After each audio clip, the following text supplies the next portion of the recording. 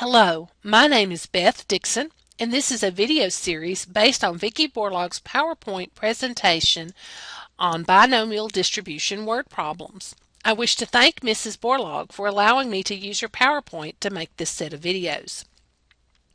Our goals for binomial distributions include to compute the probabilities, to compute the mean and standard deviation, and to classify a data value as ordinary or unusual.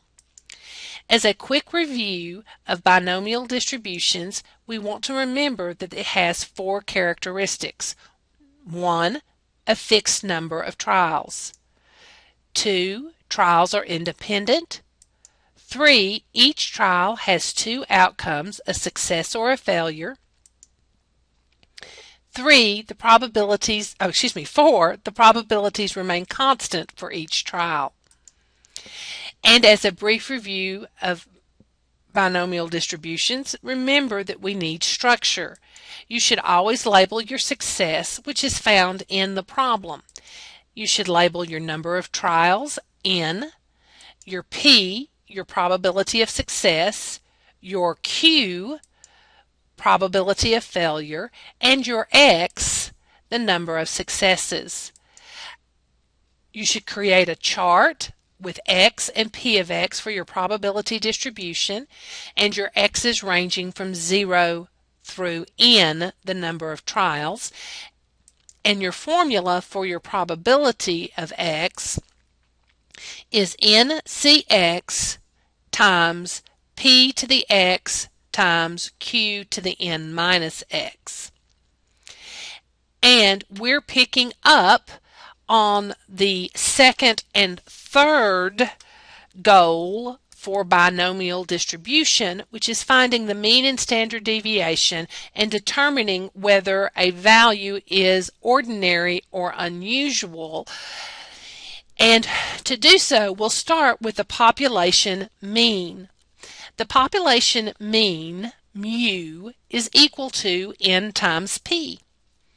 The population variance, sigma squared is equal to n times p times q, and the population standard deviation, sigma, is equal to the square root of n times p times q.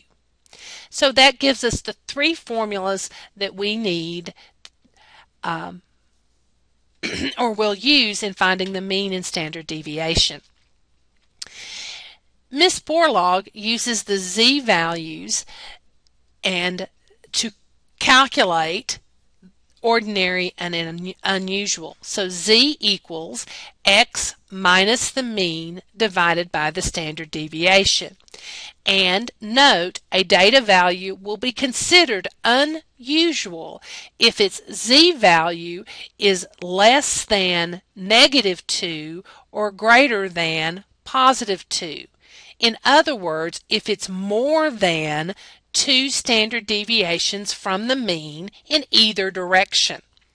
Notice our number line down here. Anything inside of the two standard deviations is ordinary. Anything outside the two standard deviations is unusual. If it's more or greater than 2 or less than negative 2. The next example requires calculating the mean and standard Try that again. The next example requires calculating the mean and standard deviation for a binomial and classifying a data value as ordinary or unusual. A species of frog is being studied.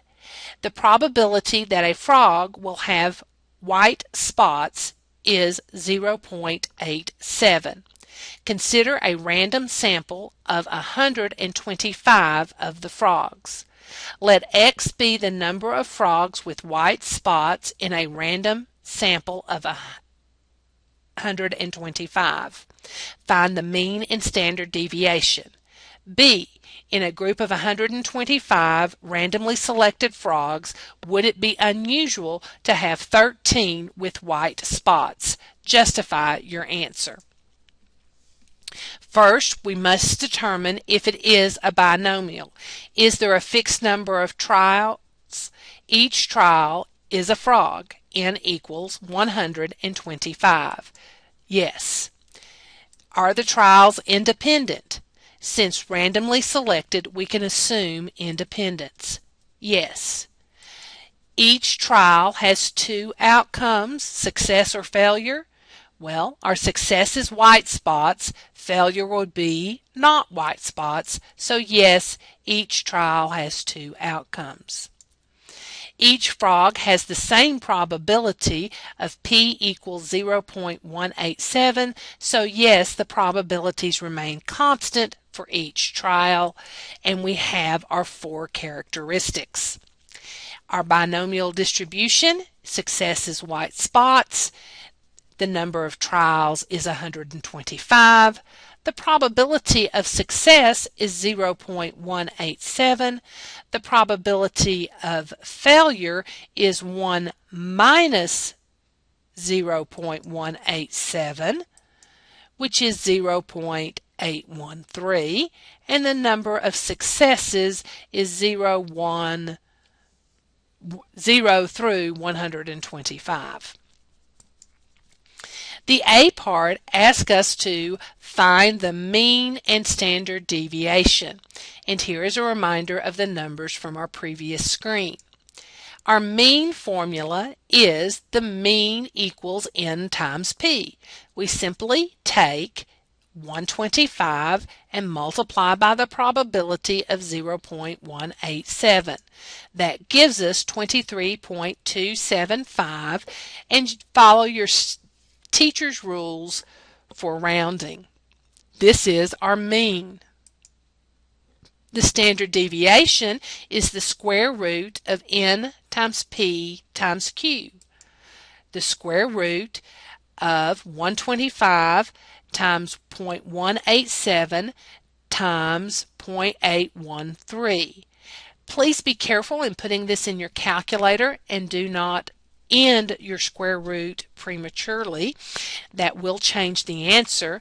You should get as your answer 4.3593 as your standard deviation.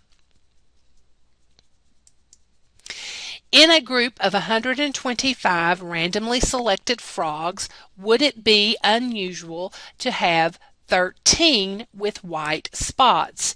justify your answers.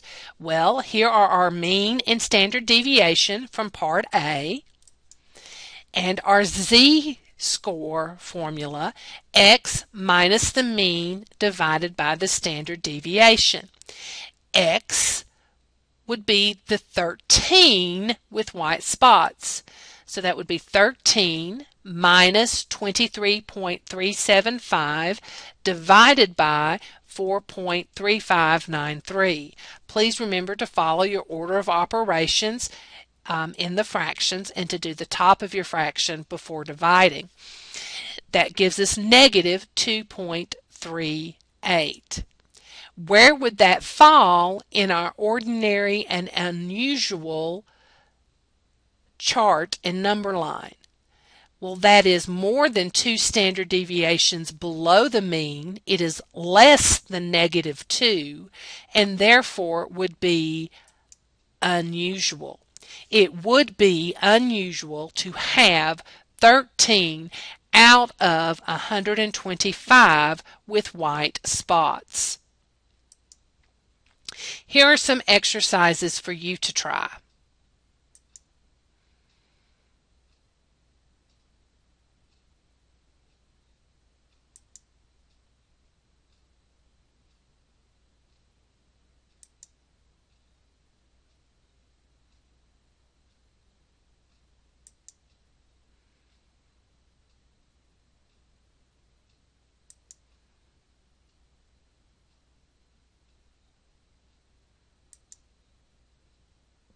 This concludes this set of videos.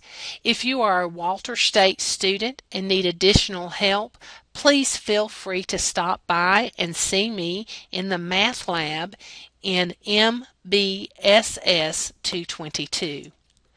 Thank you.